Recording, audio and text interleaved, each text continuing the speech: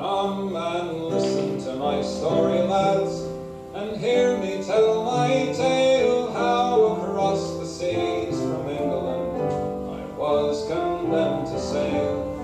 The jury found me guilty, and the judge, he says, says he, it's for life, Jim Jones, I'm sending you across the briny sea.